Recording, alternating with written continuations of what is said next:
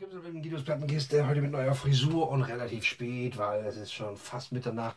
Äh, äh, aber ist egal, wir ziehen das jetzt einfach mal durch, ne? so wie es auch sein soll. Ne? Übrigens hier, neue Mint ist draußen seit gestern wieder dabei. Schöne Ausgabe Nummer 12. Wieder schöne Berichte natürlich drin. Auch ganz besonders schön ist hier das Hypnosis. Das ist äh, das Artwork-Cover-Team hier die die wunderschönen Cover alle gestaltet hat, was mich auf eine fantastische Idee gebracht hat. Äh, da muss ich aber erst noch ein bisschen vorarbeiten. Da rücke ich dann ein bisschen später mit raus. Äh, aber äh, das ist toll. Freut mich immer wieder. Gestern gekauft, auch schon durchgelesen. Ne? Also wie gesagt, hier holt ihr euch am, am, am, am Plattendealer oder am gut sortierten Kiosk. Mint Nummer 12 ist da. So, ansonsten ziehen wir es jetzt durch. Drei Scheiben. Das ist übrigens mein Satz heute. Wir ziehen es jetzt durch. So, okay, ich fange einfach mal an. Erste Platte komme ich mal hier oben rein und habe als erste Scheibe.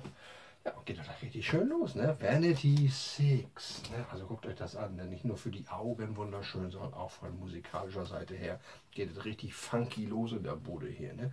Vanity Six ist nämlich die berühmt-berüchtigte sexy Background Triple von Prince auf seiner super 1999 Revolution, ne 1999 Tour. So hieß das ganze Ding, glaube ich. Ne? Ja, also das ist auch nicht die, die sich immer wunderschön auf dem Bett, geregelt haben und einfach auch richtig funky raufhauen. Äh, hier auch mit Nasty Girl, glaube ich, das ist gleich der Opener hier auf der ersten Seite. Ähm, auch ein schönes Lied von Prince produziert und ich glaube geschrieben hat er das Ding auch. Und passt ja auch so ein bisschen, wenn man so auf Nasty Girl geht. Ne? Oder Wet Dreams. Ne? Also hier ist natürlich klar, dass, äh, ja, was, was, was hier alles so was soll man dazu noch sagen? Ne? Wunderschön. Von Apollonia Six hatten wir ja, glaube ich, schon mal irgendwie was. Das ist also die Parallelband, glaube ich, so. Ähm, jetzt ist, haben wir es mal mit Vanity Six. Ne? Und äh, ach, jetzt kommt ja nicht mehr mal ein Name. Wendy. Ich weiß es jetzt nicht mehr ganz genau. Hatten wir ja auch schon mal eine Scheibe, ne? Schönes Teil. Schönes Teil. Vanity Six. Funky Trooper. Vanity 60 Funky Trooper. Yes, man. Yes, man. Und ansonsten haben wir hier noch. Ach du Herrje, guck dir das an. Die Communards. Da sind wir wieder in den 80er Jahren gelandet. Ne? Don't leave me this way. Yeah. Okay, es ist jetzt nicht wirklich so mein Ding. Äh, haben wir reingeschlagen. Jimmy Somerville mit den Communards. Kennt, glaube ich, jeder irgendwie so hat in den 80er Jahren wirklich fast auch jeder gehört, glaube ich, oder so, oder musste es sogar hören, das bin ich nicht ganz sicher. Ne? Ähm, es ist okay. Also es ist schon, kommt man nicht dran vorbei, letzten Endes irgendwie so, ähm, war, war, war überall da. Ne? Gehörte einfach in die 80er mit rein. Ne? Hat sich natürlich auch sehr etabliert, natürlich in der Gay-Community letzten Endes, aber ähm, davon wollen wir jetzt gar nicht so lange, davon wollen wir uns gar nicht hängen. Sie hatten relativ viele Hits, äh, wo die auch alle in, in super Remixes und sowas umgeschlagen waren. Ähm, war, war da. Ne? Kombinats, Jimmy Somerville, äh, ich glaube, das ist die Debütscheibe. Wie es jetzt genau heißt, weiß ich auch nicht. Bitteschön. Ja. Die Kombinats, jawohl. Die freuen uns doch ganz besonders, ne? So, und ansonsten haben wir hier vielleicht noch mal eine. Und jetzt habe ich hier, ja, das ist was ganz Besonderes. Und zwar ist das Steely Dan mit Aja. Aja, so heißt das, glaube ich, ne, wenn man richtig ausspricht. Ne? Äh, und das ist eine ganz besondere Platte, weil das ist nämlich auch die Original Master Recording Scheibe hier. Das heißt, das ist nochmal, die eigentlich ist die Scheibe, glaube ich, von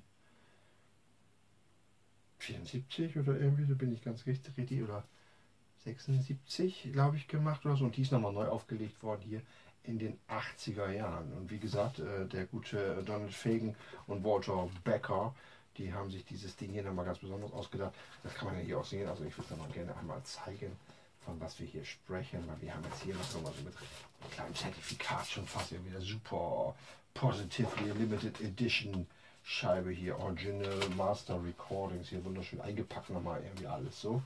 Äh, also das ist eine hoch und heilige Platte hier. Ne? Äh, äh, und wie gesagt, Donald Fagan und Walter Becker, die waren, das waren ja zwei ganz wahnsinnig berüchtigte, in der Szene berüchtigte Nerds, will ich schon fast sagen. Ne? Also ich meine, das ist ja eine Scheibe, da haben ja unheimlich viele Leute mitgewirkt, die nach Rang und Namen hatten. Also hier Jazzgrößen, äh, wie Wayne so hat hier drauf mitgemacht.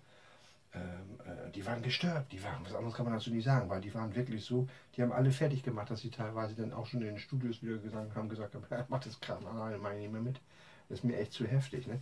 Die haben wirklich komplette Aufnahmen gemacht und abgemixt und getan und wirklich bis ins kleinste Detail aus getüftelt und gemacht und getan. Und als endlich irgendwie alles fertig war und alle zufrieden waren, so gesagt, super, dass es jetzt endlich haben willst oder irgendwie sowas, haben wir von vorne angefangen. Und so machen wir es jetzt nochmal. Und alle haben immer nur gesagt, die sind doof, ne? Oder die sind verrückt. Alles andere kann man nicht sagen. Also es ist schon ein, gerade so in dem Bereich äh, äh Sound, äh, das ist, die hat glaube ich auch viele Preise bekommen, was Sound und sowas angeht. Ähm, wie gesagt, man muss immer so ein bisschen auf die 80er Jahre, 70er, 80er Jahre noch irgendwie äh, münzen, das Ganze. Äh, es ist schon eine Referenzscheibe in Sachen Punkto Qualität äh, und Sound zu der Zeit. Ne? Wunderschönes Teil, Steely Dan mit Aja als Special Master Recording. Freut mich, das ist ein schönes Ding. Kostet irgendwie 80 Euro mindestens. Ne? So richtig teures Teil. Ja. Mein Gott, habe ich Schätze. Unglaublich. Ne? Schatz, Schatz, Schatz. Mein Schatz. Oh, ein bisschen Rücken habe ich auch noch. Mein Schatz. Und ich habe mal hier was. Oh, mein nächster Schatz, hier guck mal an, wenn das nicht irgendwie alles, ne? Klaus Schulze, Digit, ne? Mein Klaus Schulze ist im Prinzip, hoffe ich, doch jedem ein Begriff, äh, Mitbegründer der Berliner Schulze, äh, der Berliner Schulze, der Berliner Schule, äh, ich hatte auch letztens ja noch Buddy Love, glaube ich, so eine meiner Lieblingsplatten von Klaus Schulze. Ähm, das war auch ein ganz besonderes Ding, hier Digit. Ähm, weil das ist, glaube ich, die erste voll digital aufgenommene Scheibe, die es überhaupt gibt.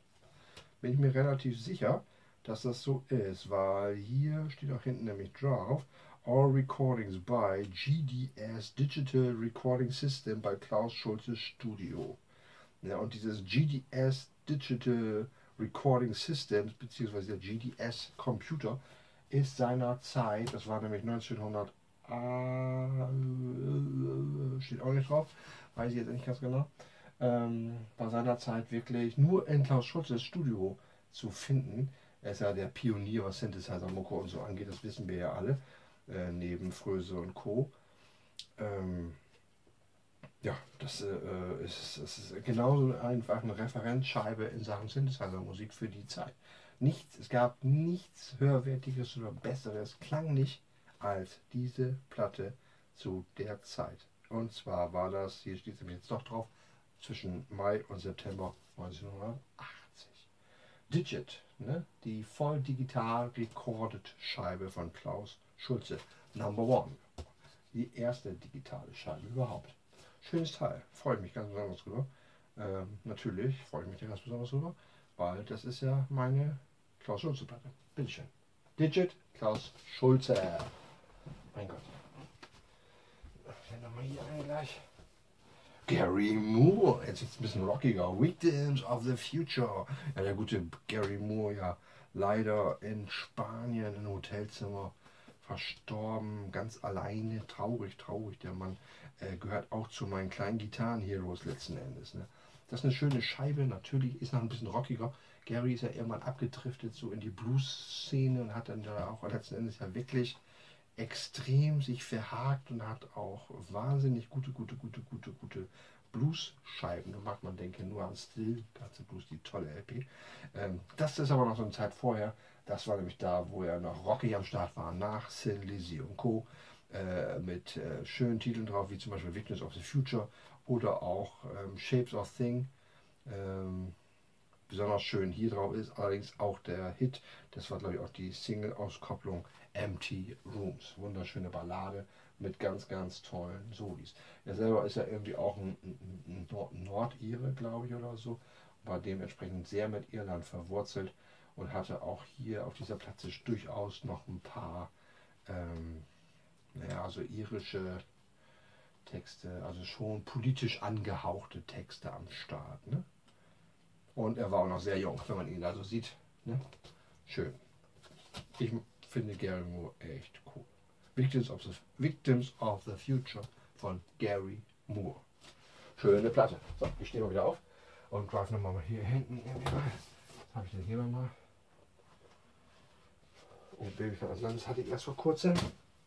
Können wir gleich wieder beiseite tun. Mein Gott. Das die hatten wir auch schon. Jetzt, kann, jetzt wiederholt sich das, das doch alles so ein bisschen. Ne? Brand X, ne?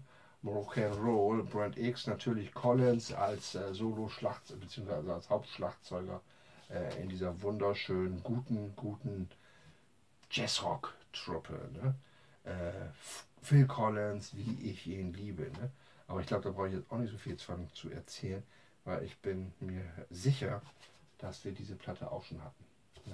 Äh, ich zeichne noch einmal die Rückseite, weil Collins ist schon wirklich toll, äh, wenn man ihn da so anguckt hier unten, wie super er die aussehen könnte. Ne?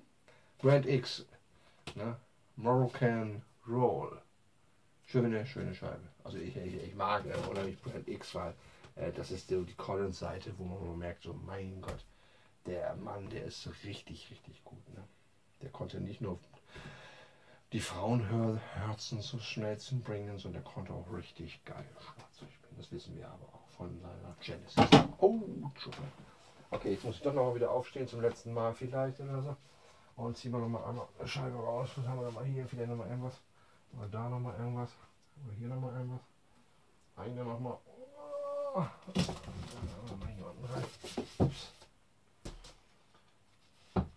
Tja, das ist natürlich auch wieder eine schöne Abschlussscheibe, von der ich nämlich nicht weiß, was das nun genau ist. Das ist nämlich Mickey Job. Was ist Mickey Job? Long Distance Romancer. Man ist natürlich schön, dass er hier so auf dem Mond mit seiner Telefonbox steht. Und das Artwork ist natürlich hier auch besonders schön. Aber ansonsten kann ich jetzt momentan echt überhaupt gar nicht sagen, was Mickey Jupp ist. Glaube, die habe ich auch noch nicht gehört. Das ist, gehört mal wieder zu den Platten, die äh, hier irgendwie äh, wahrscheinlich wegen dem Cover gekauft wurden von mir. Und ja, irgendwie leider so ein bisschen äh, in die Welt der Plattenuntergründe hier oder so geschwommen sind ohne mal jemals auf meinem Plattenspieler gelandet zu sein. Das Cover finde ich wirklich klasse, aber sonst muss ich die auch nochmal beiseite legen.